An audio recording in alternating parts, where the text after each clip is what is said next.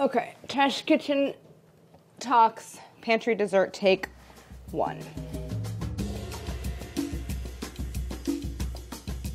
Today we are going to be making dessert out of the Stuff you just have lying around in the pantry. crunchy peanut butter. Miso. Frozen waffle, because I got them. Oh my god. Mm. It's so good. Hey guys, welcome to Test Kitchen Talks, the home edition.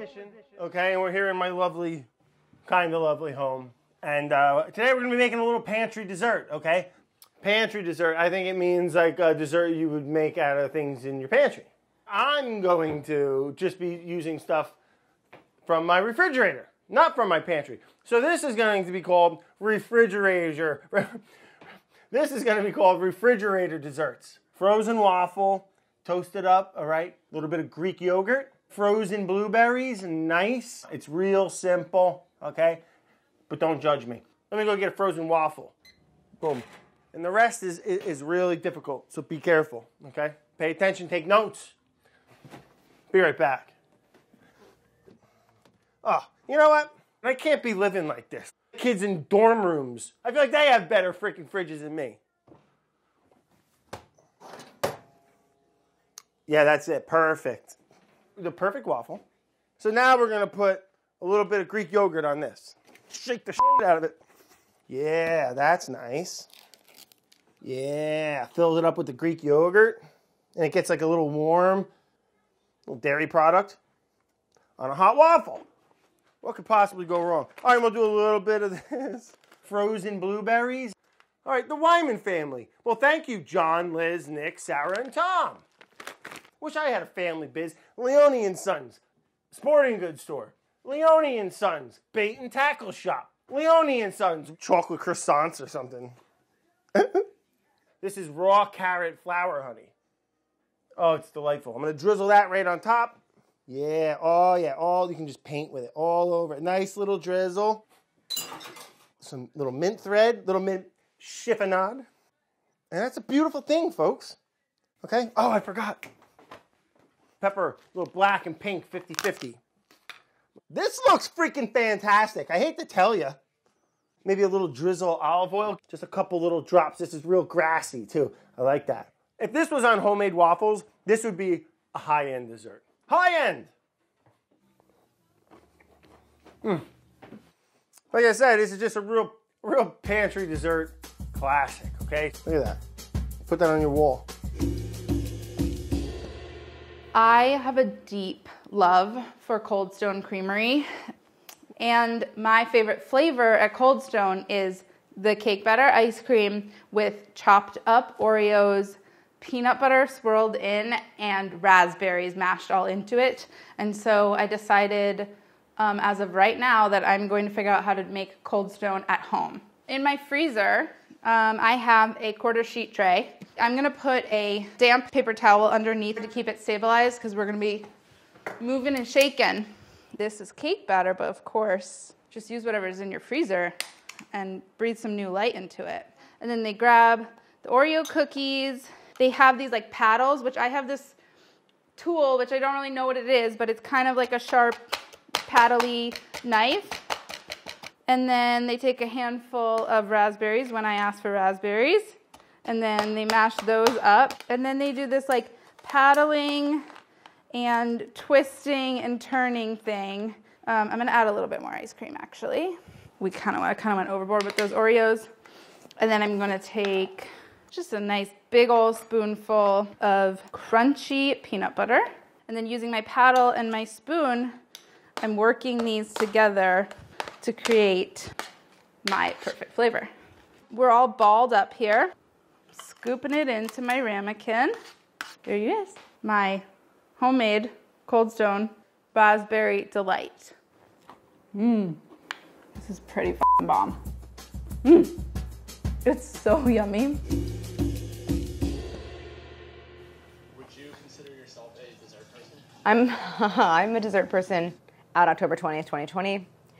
Basically, I eat dessert every night. Dessert can be everything from like a piece of cake to a graham cracker with Nutella smeared on it if I'm desperate. So, I am making a delicious cookie called a palmier, or elephant ear, as it's called sometimes, are those little spiral cookies that kind of like go in a, I don't know what, what you call it, like a double spiral.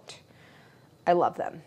And this is a pantry dessert because if you have pie dough in your freezer, which I usually do, it's basically like a two or three ingredient dessert once you already have the pie dough. I have granulated sugar. This is like a half cup. Kosher salt, I always add salt. I like to add a little cinnamon. I'm just mixing it together until it is the color that I want it to be. So this is dough that has been sitting in my freezer, I think, for literally almost one year. This, I mean, despite this dough being very old, it actually feels great. It's, so it doesn't really matter so much the proportions that you roll this out to. I'm just trying to get it into a rectangle. Okay, so these look. This looks good. This is egg wash left over from making wontons. Generously sprinkle my cinnamon sugar mixture. I want to coat the entire thing. And now to form them, I roll in a tight spiral from either end to the midline. So you should have two even spirals. And now roll it onto its side, and you're just pressing down. I'm gonna get my piece of parchment. I'm going to use my egg wash and the rest of my cinnamon sugar to coat the outside. And then I have this parchment paper here because I'm actually going to roll the whole thing up and stick this in the freezer. 25 to 30 minutes is great, but it's only been like 5 to 10, and that's fine too. Actually, it feels quite solid. So using this same piece of parchment, line the baking sheet, slice off the ends, and then I like to cut in half and then in half again and half again so I get all equal slices. I always have a problem with palmiers where they unravel in the oven. So I pinch them together pretty tightly before I put them on the baking sheet. All right, at this point, I did what I said not to do, which is the pastry is getting a little soft, but we don't have a time to waste, so I'm just gonna stick them directly into the oven. So a little hotter than normal, so 375. Okay, so those will bake for about a half an hour, 25 to 30. So set a timer. We're pretending like it's 30 minutes later. I don't know how well you can see all the flakiness. The butter kind of leaks out and it mixes with the sugar and it makes the caramel. And what I love about palmiers is you get these glassy puddles of caramel that make like a lacy edge. It's just like butter and sugar and caramel and cinnamon and oh, they're so good. If you're someone that has pie dough in the freezer, I would say make palmiers. Unfortunately, these palmiers kind of totally opened up, so I could have let them chill much longer, but they look incredibly delicious and flaky. Like basically it should look like a heart at the end, but not a circle, you know? Like that's a circle. That one's a heart. That's a heart. That's a circle. Before anyone's like, "Oh, a cocktail is not a dessert," what uh, what are you doing? Um, here, I'm going to be using some sweeter booze to make a cocktail, which is the last thing that I have during my meal. That qualifies as dessert. If you disagree, I don't care. Cocktail time. Cocktail, cocktail. So I'm gonna make, it's called a black Manhattan. A regular Manhattan is sweet vermouth, whiskey, uh, Angostura. For a black Manhattan, you're essentially taking out the sweet vermouth and replacing it with Amaro. I love Amaro. It's my favorite category of booze that originates in Italy, um, but now you know people all over the world make things that can be classified as Amaro. And this is Marseille Amaro. Um, and then you also want whiskey. This is from um, Mackenzie. I would finish a meal with either of these, but I'm going to use both of them to make a cocktail. Two ounces of whiskey, and whoop, a little more there. One ounce of Amaro, and then just two dashes of Angostura bitters. Some ice, and stir this for 40 to 50 stirs. So you'll know when you're finished stirring. One, the outside of the, uh, the shaker tin or the glass will be super cold, but really the best way to do uh, to know is just count your stirs. I'm straining this through a Hawthorne strainer, so it keeps the ice inside of the glass. Uh, we don't have any cherries here, so I am just going to use a little bit of orange peel. Put your fingers on either end and just lightly crimp it so the oils spray out into the glass, and then give the lip of the glass a nice little rub with it, and that is a Black Manhattan. Cheers. Oh, what is it? It's like 145 right now. This is dangerous. I might just keep drinking these. Okay, guys, you gotta need you need to do something in the other room. Finn, with me. Here. Two bananas. Two bananas. I certainly would not consider myself a dessert person. You know, I need balance and I don't just crave sweet things. In the end, I simply said, you know what? Let's just do our miso almond butter cookies. This does a lot for me from the standpoint of bringing tons of savory flavor into the cookies. And we're gonna dip them in chocolate, so what else is there to get fussed about? First things first, I need 10 tablespoons unsalted butter. My wife would be furious if I told you this, but she's literally on the other side of the tripod doing a Pilates class with her AirPods in. All right, she's, she's, she will kill me. Browning the butter simply refers to the fact that you're cooking out the water, but by stirring it, you can get a little bit of a better read on the color. All right, that's what we're talking about. I'm just gonna measure out one and a quarter cups of whole wheat flour and then a half a teaspoon baking soda. So one cup brown sugar, our slightly cooled brown butter.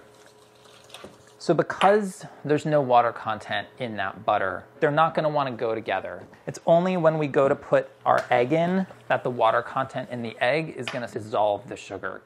I'm gonna dig out a third of a cup of almond butter, a third of a cup miso, and then a teaspoon of vanilla. Now our dry ingredients can go in. We have like a nice dough. There's something so satisfying about scooping cookie dough with an actual ice cream scoop. Satisfaction. Dough's feeling a little bit soft to me. Let's do one baking sheet of cookies, put the rest of the dough in the fridge and see what's what. Oh, there we go. Fridge is like Brad would kill for that refrigerator. I mean, let's not feel too bad for Brad, okay? Like he's got like three chest freezers in his like man den. There's like compound bows hanging. Okay, so we're baking off one sheet worth. We're saving the rest of it. Finn, do you want to hang with me? Uh, just to translate, that was a no. I want to watch the Wild Kratts. I'll be right back. So we're gonna dip these in chocolate. That's what you guys came here for. So I'm using Guittard 70% chocolate here. We are not tempering chocolate here today. Just wanna make that abundantly clear. So I'm a huge fan of the half dip here. There's something about the way, you know, the half dip looks on the cookies when they're arrayed on that baking sheet. It's just so pleasing and satisfying. Mm. The miso, the fact that we brown the butter, dark brown sugar, vanilla even can kind of skew a little bit savory with the sweet. It's just fantastic. I love this cookie and I love it on its own, but dipped in chocolate, it's just like, you know. Mm-hmm. One cookie each. Excuse me. All right, it's Rick, and I am still here in Mazatlan, Mexico. And it's been 83 degrees for the last 38 days here. So I'm gonna make you a key lime bomb. Basically, you just dump everything in a bowl, stir it together, layer it, and freeze it, and it's gonna be really, really yummy. So normally, if I was in New York, I would probably have heavy cream. Here, I have crema. I've got two cups of crema, three quarters of a cup of lime juice, and this is four teaspoons of lime zest, Nestle's sweetened condensed milk. Here it's called lechera.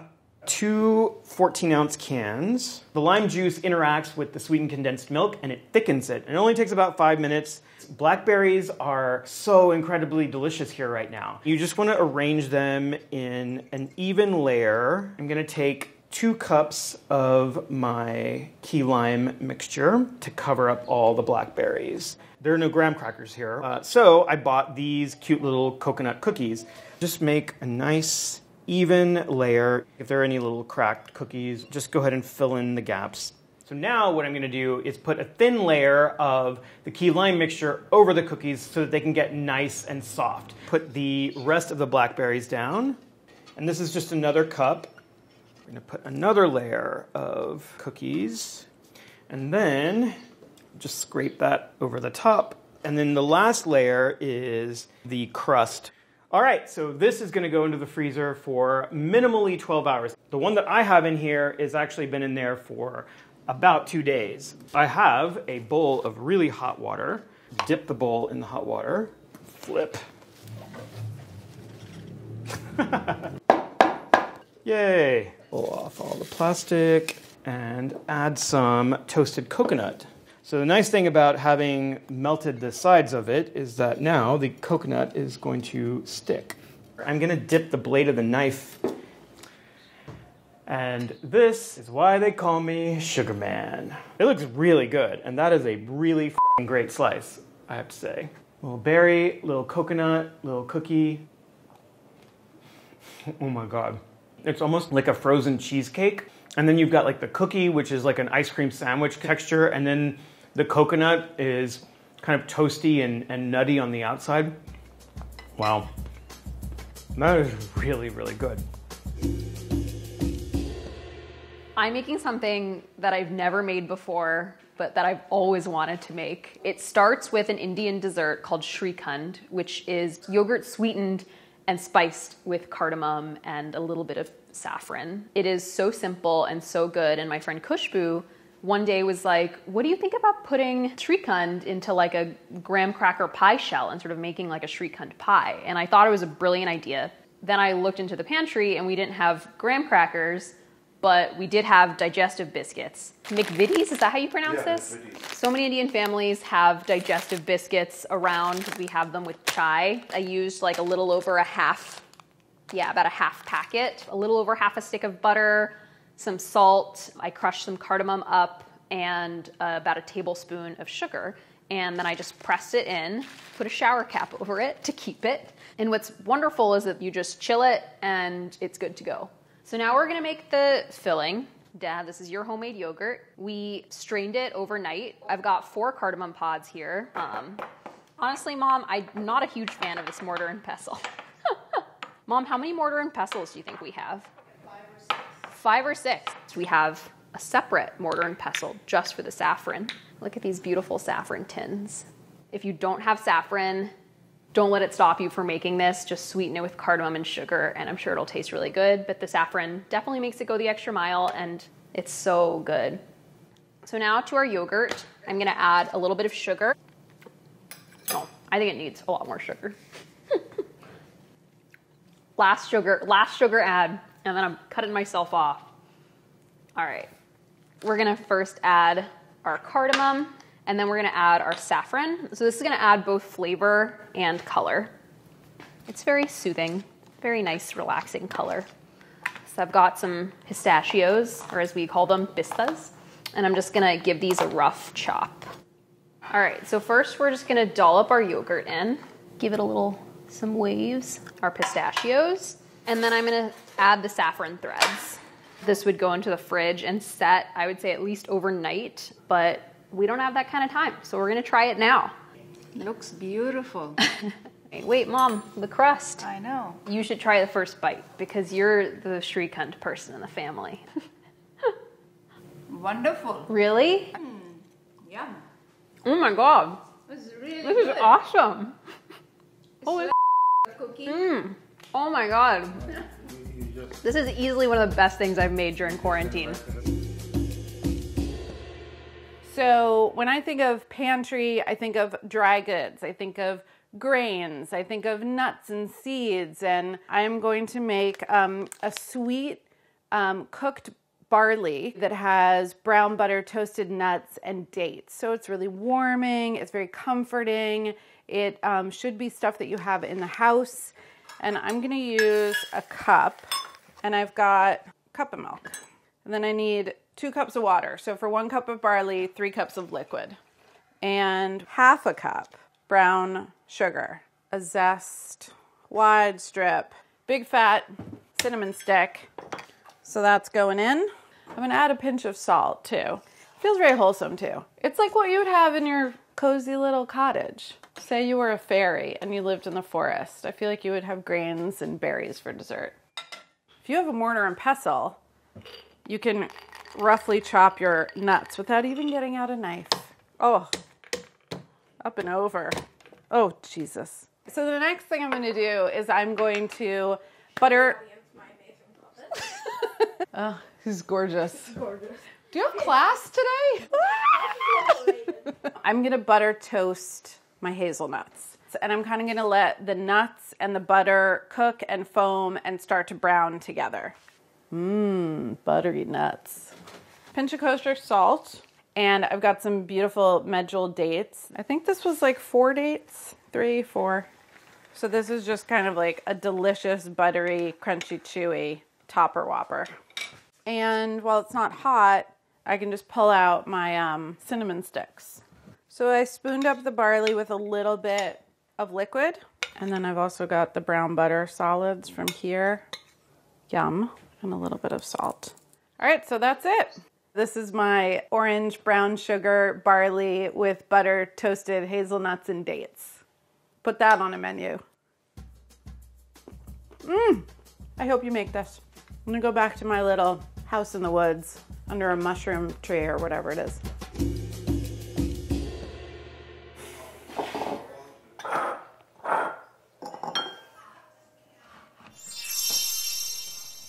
To be honest, I have ice cream every single night for the last seven weeks now. Typically Haagen-Dazs coffee ice cream.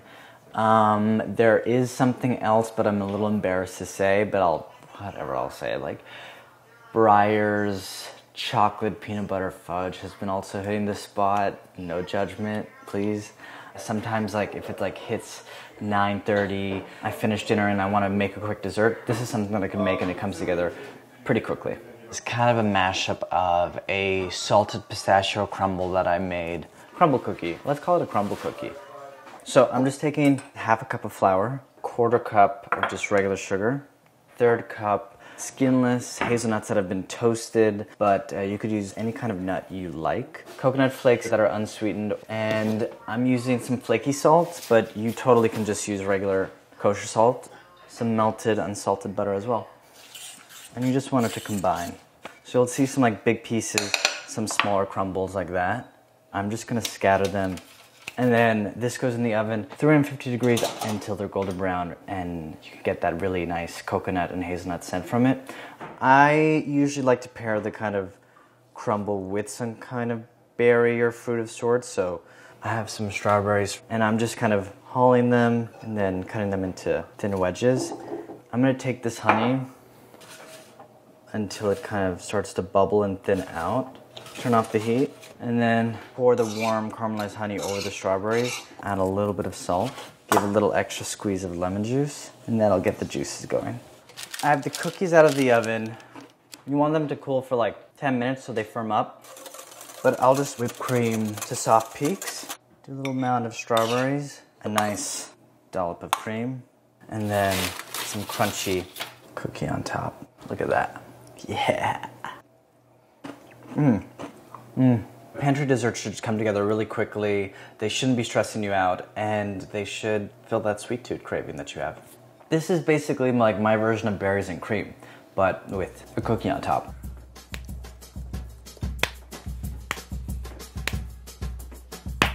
And that's it. Hey, Bon Appetit, what's up? Allie, Allie, it's still rolling.